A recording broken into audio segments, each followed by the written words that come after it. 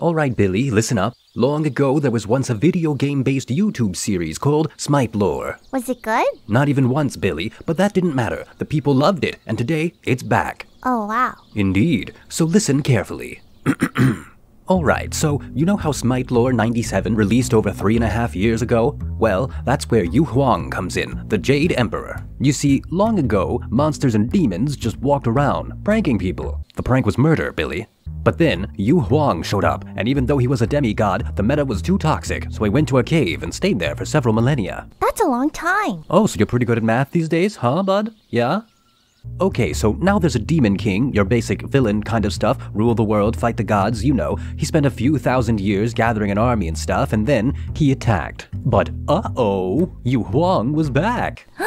That's right, he had grinded to max level. He jumped up to heaven and slapped the Demon King. Not with his hand, but with his brain. Heaven itself shook, and the world almost died. But didn't. It was fine. Yu Huang had saved the day, and so became the Jade Emperor. Wow, what happened next? I don't know, I'm leaving. Oh, I